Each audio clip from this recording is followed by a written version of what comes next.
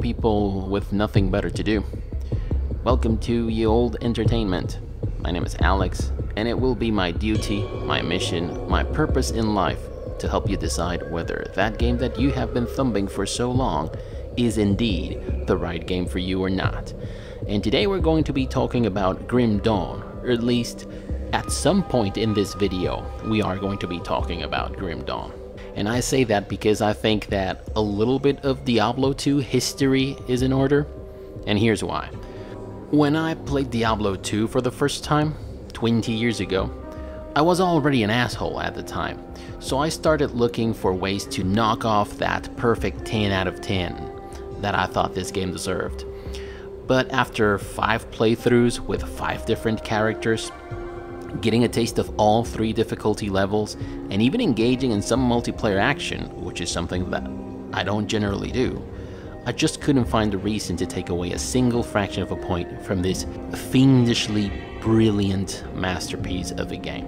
The gameplay was addictive, the mechanics were intuitive, yet tactically complex and challenging, which is something that I always look forward to in a game of this sort. The story was engaging, the loot was brilliantly designed, and the replay value was almost endless. Hell, it would have been endless if other developers hadn't distracted me with their petty half-assed new games. Now, since Diablo 2 proved to be such an entertaining experience, I had a flash of brilliance. The kind that keeps the world moving, you know? I thought, man, do you think there are other games out there comparable to this one, at least in some capacity? And I guess that's how I embarked upon the crusade to find good isoparametric RPGs in the Diablo 2 tradition, unsuspecting, oh ignorant me, that the gaming ocean was indeed a vast one, and also filled with steaming piles of shit.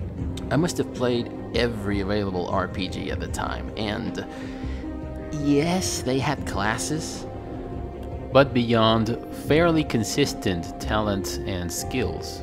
None of these classes in any of these excuses for RPGs really offered any strategic diversity. See, playing Diablo 2 with the Barbarian, for example, offered a completely different experience than playing it with, say, the Necromancer. And if you held a gun to my head right now, I would probably not be able to spit out more than two or three classes in all those other games that I masochistically put myself through at the time. And that's because regardless of which class I chose in these games, they all seem to end up offering the exact same shit. These games also had loot, as they all do, but the loot was either infuriatingly scarce, I'm looking at you, Loki, or abundant to the point of being irrelevant and uninteresting. And even when the drop rates per tier were balanced, the perks and attributes in the items rarely went beyond your typical plus X strength bonus or plus Y percent to your attack speed bonus. See, 20 years later, I still remember the first time I acquired Colwyn's Point, and you'll see the image on your screens right now because I took the time to look for that item it was a sword, I remember, that was not exactly meant to be used by a necromancer, as swords aren't exactly meant to be used by necromancers. But that sword gave plus one to all skills, and my necromancer heavily relied on skills. And that was the only weapon that I had at the time that gave such a perk. I also remember, and this was 20 years ago, when I got Herald of Zakarum for my Paladin. And I remember waiting ages to get that combination of runes that would turn that shield into the perfect item. You see, the moral is that there was tactical value to each and every item, and therefore they were relevant to your strategic approach to the game, which was your own, of course. See, this is what Chris Wilson, managing director at Grinding Gears Game, had to say about Diablo 2's winning formula. So back in the mid 2000s, my co-founders and I had played a ton of Diablo 2, like like thousands and thousands and thousands of hours. And as we, over time, tired of the game, we looked at other action RPGs that we wanted to try out. You know, we tried out Dungeon Siege series and Titan Quest and so on. And we played those games too and enjoyed them, but only for dozens of hours rather than thousands of hours. And so this caused us to ask, why did we sink so much more time into Diablo 2? What was perfect? What made that game the best action RPG that had ever existed? And so we came up with a bunch of design pillars that we feel a perfect action RPG needs that some of the other games hadn't quite hit in all cases. And so those design pillars are as follows. The first one is a visceral action combat. This goes without saying, it's an action RPG. You need to have immediacy. You hit a monster, it dies, blood goes everywhere, it falls back and, you know, it's nice and fast and action-based. So next we have randomly generated items. Now I kind of wanted to just do an items talk, like just focus on this one for an hour, and I, I think I could do a good job of that, but I'm going to briefly say that if you get your random item system good, it makes your game replayable. And the reason why is because in these kind of games, your items are your progress, right? And the other nice thing about randomly generated items is it's not just a linear progression where the player knows they've got three items left to go and then they're finished. We're dealing with ones where the stats are all over the place. Who knows what the next best item is, how, how far it can be pushed. And because of that, you get this cool diminishing returns so that players really appreciate the small upgrades they find because it's a 1% power increase for their character, but it makes them so much better than more of their friends. The final one is deep character customization. This is merely the fact that if you have thousands and thousands of ways of playing your game, then when someone comes back to play it the second, third, fifth, time, they have a different way that they can play it. And in some games where they just have a few simple character classes and it's pretty straightforward, you'll play it with the first class, then you'll play it with the second one, then the third, and eventually you run out of new classes you haven't tried. Path of Exile tries very hard to make sure the class doesn't actually matter that much. It's more about what you're doing with it. Path of Exile is not one of my favorite action RPGs, but it has been one of the most successful RPGs in recent memory. I suspect their understanding of the Diablo 2 formula is largely to be credited for this success. But if we were to ask, what is the secret ingredient for the Diablo 2 formula? You poor, pathetic, misguided creatures choking down your flaming modes, all the time wondering, how does he do it? Well, I'm going to tell you. the secret ingredient is... Strategy. And maybe you don't think of Diablo 2 as being a strategy game per se. It is not and that's because the strategy is seamlessly woven into every thread of the fabric of the game.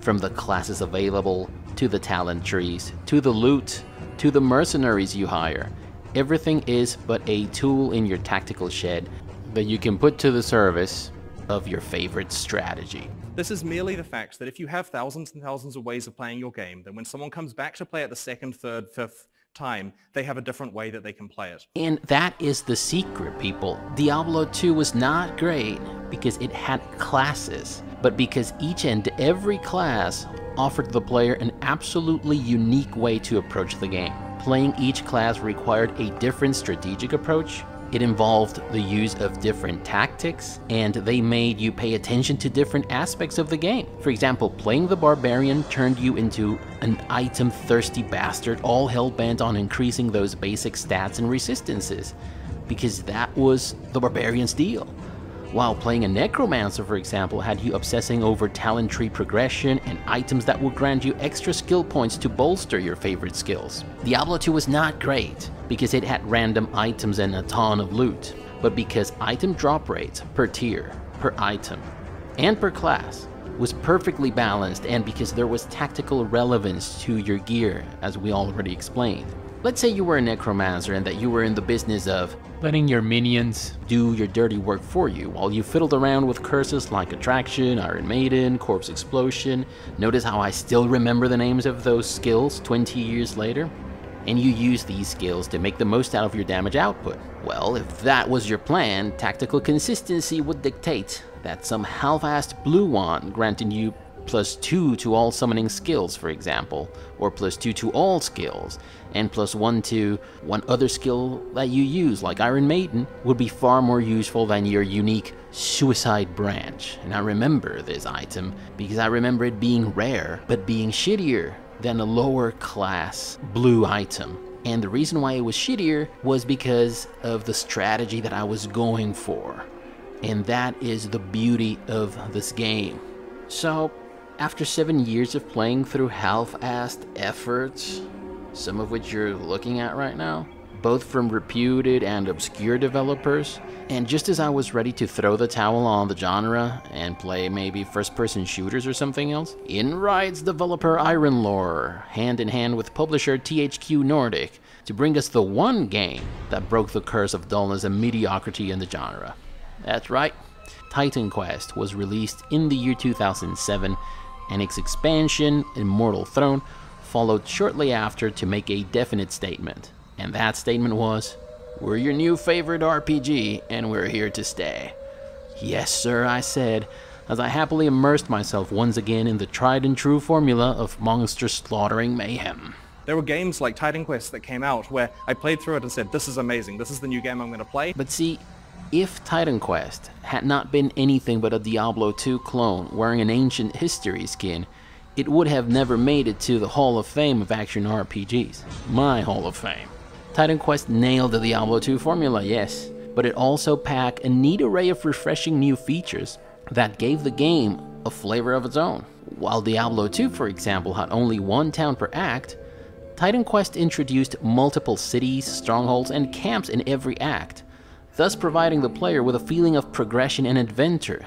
You see, setting out to get some help from some garrison located in a remote city felt like the beginning of an exciting adventure, and reaching said city felt like a true accomplishment.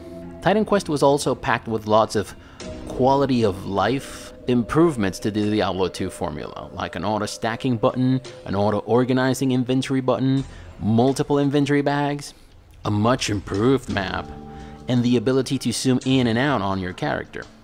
There were also some other features that most players saw at the time as welcome improvements to the formula. Things like infinite stamina, infinite bow and crossbow ammo, no need to repair or identify items, the amount of potions not depending on your belt capacity, and I think that Rhykker and I need to have a discussion on whether this is bad design or not. And if you don't know Rhykker's channel, by the way, you should definitely check it out, so I will leave a link in the description section down below.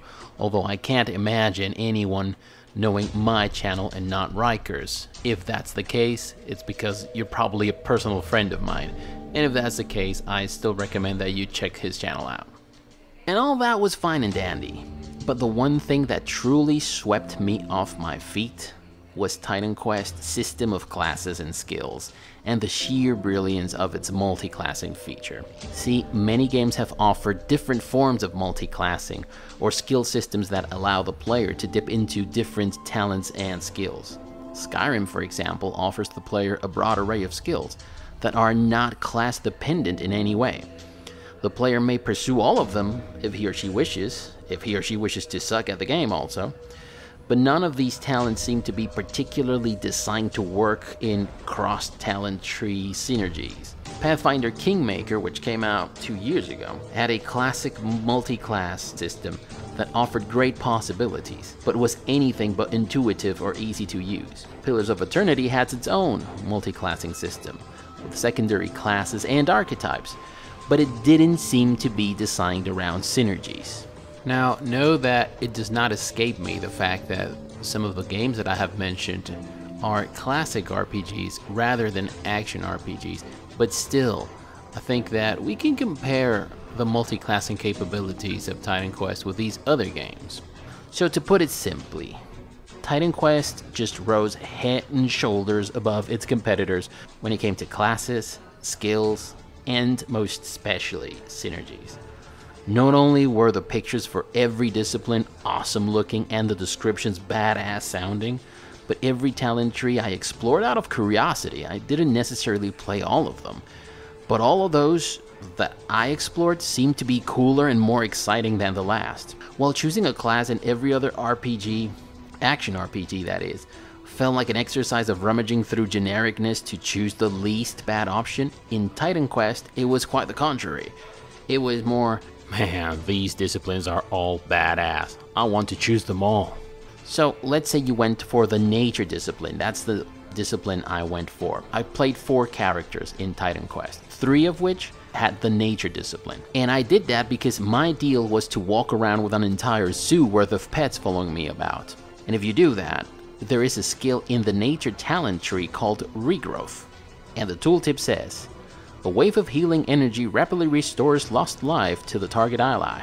And there are various allies at your disposal, should you choose to go with a nature discipline like a pack of wolves or a nymph. But if you also choose Spirit as your secondary discipline, you'll get the chance to summon the Lich King, which is an uberly badass one-man army of destruction. But see, for balance's sake, the Lich King is a bit of a glass cannon. He hits like a freaking truck, no doubt, but it is also as fragile as the confidence of your average body positivity activist. But, since cross-class synergies are a thing in Titan Quest, and the game is designed around those, you can almost completely circumvent your spirit-based Lich King's fragility with your nature-based regrowth. There's also a skill called Dark Covenant, which is a skill within the Spirit talent tree, which enhances your energy regeneration and your running speed. But if you also max out the Unearthly Power synergy, you also get ungodly pluses like additional 50% damage, an additional 34% elemental damage, and an additional 50% vitality damage.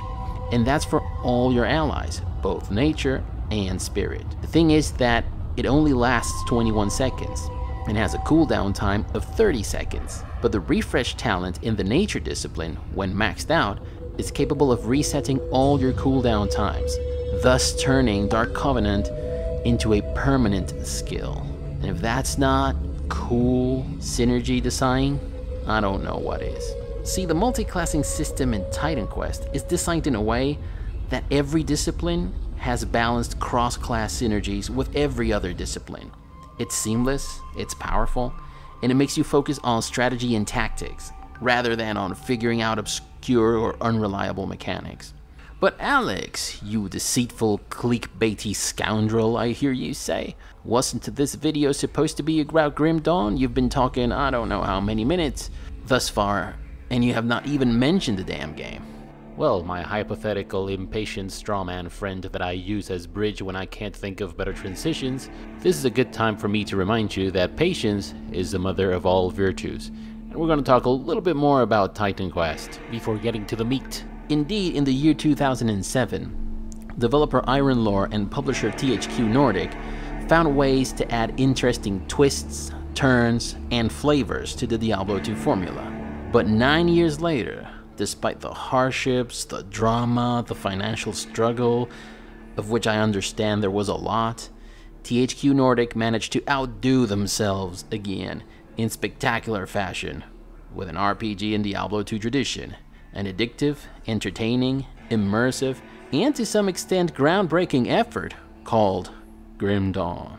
Titan Quest was impressive in many aspects, but the story was not one of them. It was generic, bland, and borderline cheesy at times. The dialogues were poorly written, and the voice acting could be laughably bad at times. Grim Dawn in turn presents a solid story, at the center of which there's an all-consuming threat that's both credible and mysterious, and a main character with personal stakes in the whole deal, which is one big difference. The writing is decent, I would say, but not impressive and the voice acting is consistently good throughout the entire game. The setting is a blend of medieval fantasy and steampunk Victorian vibes distilled into a flavor of its own that is both immersive and engaging. And the same goes for the music. I already thought the music in Titan Quest was awesomely epic, and Grim Dawn is at the very least on par with its spiritual predecessor, with a score that feels both epic and oddly yet adequately proggy. And by proggy, I mean that it has vibes that go from Victorian to Old West to everything at the same time. It's just awesome. The sound effects and the sound itself, though it may take a little bit of fiddling around with the options, it's some of the best in the business. At one time, I even had to remove my headphones to make sure the raven cawing was not coming from anywhere in the kitchen. That's how good this is. There are no locations, per act in Grim Dawn, as there are in Diablo 2 or Titan Quest. Instead, you venture forth into a vast open world map which takes the feeling of perilous adventure to a new height. Here there are many cities and strongholds, but they are scattered in a vast map. It feels like a very Lord of the Ring-like adventure. It is really, really good. And the good thing is that, although this game does not have randomly generated levels, does have unmapped locations, and I'm not talking about your small cave that you can break into to steal some treasure. There are those, of course, but we're talking about large unmapped zones that are filled with treasure, hordes of enemies, quests, and even secret vendors. The paths to these locations aren't obvious, and they're very easy to miss. Thus, when you explore thoroughly and you find these locations, just the feeling couldn't be sweeter, let me tell you. It's just awesome.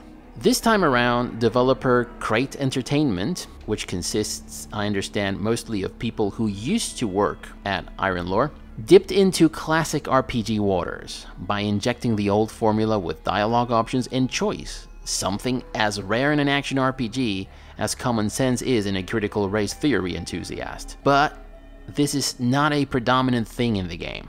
There's a healthy amount of dialogue based outcomes that add interesting diversity to the gameplay, but it isn't the gameplay, and that's a very important thing. There's this part of the game in which you run into a little girl, and you can open up a rift and send her through to save her from the monsters. Or you can start questioning her about the oddity of the situation, like, why is she there? How did she survive the monsters? Why hasn't she escaped?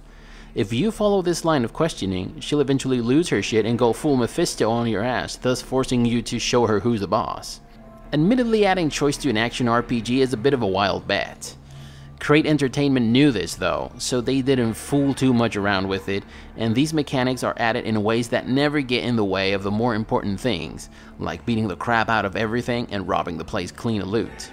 Grim Dawn has many more things to offer, like a wide cast of unique enemy bosses, hero bosses, dynamic weather, the possibility to rotate the camera in an intuitive way, various item enhancements, vendors with special stocks that are only available to those with the right reputation with the factions these vendors belong to. There's achievements, there's level design that's better than most other games in this genre. In short, there's a lot to enjoy about this game. However, this again, these are all cool things, but there are two features in Grim Dawn that totally steal the show for me. First, there's the devotion system. Devotions constitute a new layer of character development and customization in Grim Dawn. In addition to attributes and skills, the devotion system allows you to further hone your tactics or to patch up the weaknesses that inevitably come along with them. Throughout the world of Cairn, and this is where Grim Dawn takes place, there are desecrated shrines that the player can restore. Some require offerings, others require letting the hell contained within the shrines loose and dealing with the pandemonium that ensues, but restoring these shrines grant you devotion points that you can in turn assign to different constellations of deities for further benefits. Completing a constellation grants you points in one or many devotion types, thus allowing you to unlock other constellations using devotion points is a game in itself. And by that I mean planning ahead your constellation career. That is an exercise of tactical planning, as the constellations that are further away from the center offer much better perks than the ones that are near the center. It is easy, though, to carelessly assign devotion points to whichever constellation seems to be better at the time and neglect the simple math exercise that may help you unlock the path to the truly sweet rewards that await you in the constellations that are farther away. These constellations also offer interesting talents and skills, like the Turtle constellation, which grants you a force field of sorts, which triggers when your health reaches 40%. This is a skill that you most definitely want to go for if you're a melee character who spends most of his or her time in the fray of battle, but one that you'll want to pass, for example, if you're a summoner, like a necromancer, let's say. And the second feature that steals the show is Grim Dawn's hardcore content. I call it hardcore content. That's not specifically called that in the game. But see, the hardcore content in Grim Dawn is presented in the form of sealed off instances that are difficult to access and that are located in remote parts of the world of Cairn and these instances you can only open if you have the skeleton key. And most of the times, in order to get these skeleton keys, you must complete long and difficult chains of quests. And it is in this hardcore content where the game goes full Dark Souls on your butt. Not only are these instances insanely tough compared to the rest of the content, there's also the fact that you can't teleport out of them at will to take a break or to sell your stuff. Once you enter these instances, there are only two ways out of them dying or defeating the big bad guy at the end of the instance. In the event that you die, and that is something that will happen to you, let me tell you, you will find yourself regaining consciousness back at Devil's Crossing, which is sort of like your hometown. If you stubbornly say, no, I'm gonna do this, and you make your way back to the location, and that'll take you some time, you'll see that the instance has been completely closed off for the remainder of your experience, which leaves you no option if you're all hell bent on completing this content, but to log out, then log back in, kill everything on the path to the dungeon again, clear the dungeon, get to the instance that is sealed off, and procure yourself a new skeleton key. And the quest giver will give you one key. Ever.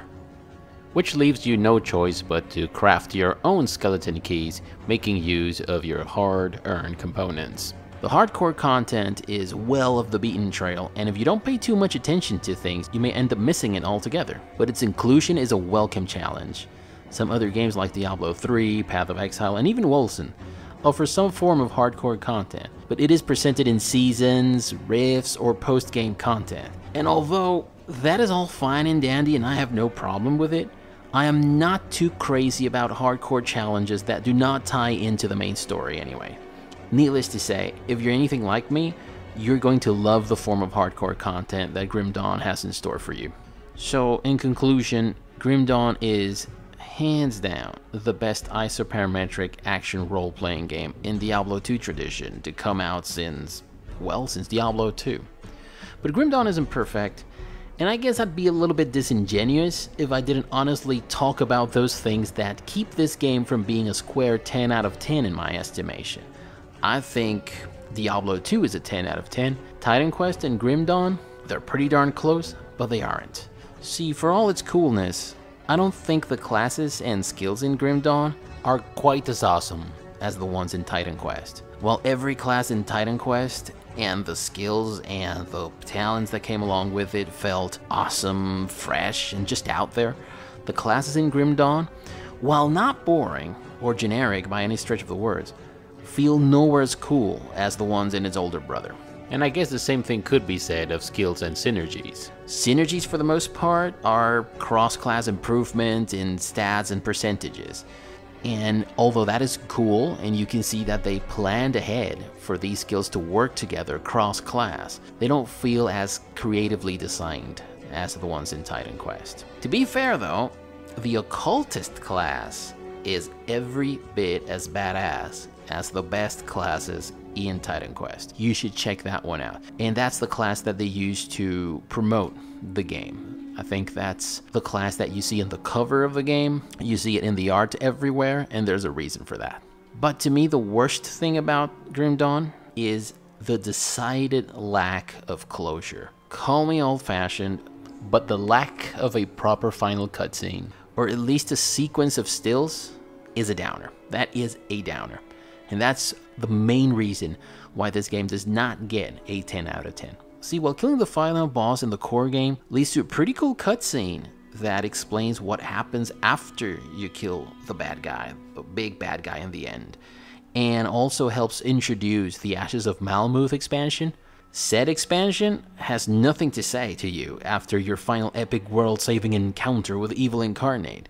I suppose that the guys and gals at Crate Entertainment thought that a pat on the back and a few words from some random NPCs glorifying your heroic deeds was enough.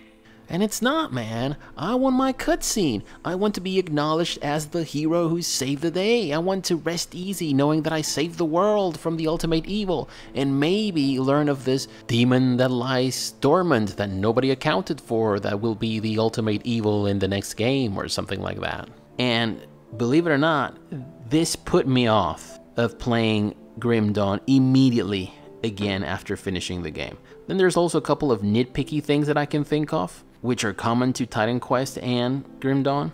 For example, you can't toggle running on and off. This used to be a very useful thing in Diablo 2, especially when playing classes like the Necromancer or the Druid, so it took me a little bit of time getting used to in Titan Quest, and I don't think I really got over it, if I'm perfectly honest. I'm also not a fan of what I can only describe as oversimplification in some aspects of the game. See, in Titan Quest or in Grim Dawn, there's no repairing broken equipment, there's no identifying items, and potions just stack. You can have stacks of 99 potions at any given time, and if you assign them to a hotkey, you can consume them as long as you have potions in your stack. So that makes managing potions not an issue in the game. That's not a thing in the game. And I may be the only one, but I miss the days in which you had to decide between a super rad, tactically appropriate and badass girdle that had only one row of potions available, or the mediocre but sturdy belt capable of holding 6 rows of potions. Most people think belt-dependent potion capacity to be a bad, dated, and pointless design practice, but I have to admit I disagree, and I miss it. There's also no alternatives to the good old mercenary that you had back in the days in Diablo 2. And for all the things that Diablo 3 did wrong, and believe me, we can spend a lot of time talking about those, I do think they nailed the companions feature. Companions feel like a much improved version of the mercenaries, with companions having their own talent trees, their own personal stakes, and even companion quests. And I kind of feel like both Titan Quest and Grim Dawn could have benefited from something similar. In summary, Grim Dawn is not perfect, and it might have missed out on some of the more modern trends in action RPGs. By this I mean that if your fun lies in the ongoing randomly generated challenges and randomly generated locations that you go into to farm items, to make your character stronger in order to be able to take on harder randomly generated dungeons, etc., then this game is not going to be your favorite. But if you seek a single player campaign based game, make no mistake about it, this is hands down your best bet. If your nostalgia for Diablo 2 still shines bright, this is your best bet. There are other good games out there Torchlight, Path of Exile, Titan Quest, and some others that are also excellent options, but make no mistake about it. Grim Dawn is second to none. And if you still have your doubts, I should probably tell you that there's a Diablo 2 mod out there for Grim Dawn that turns Grim Dawn into Diablo 2, bringing back to modern day life your favorite locations, quests, and classes from Blizzard's classic. You can also use Grim Dawn classes in Diablo 2. So how cool is that? Well, that's all I got for today. If you like this video, give it a thumbs up. If you didn't, give it a thumbs down. Never stop gaming, but don't let gaming get in the way of your dreams. Bye, everyone.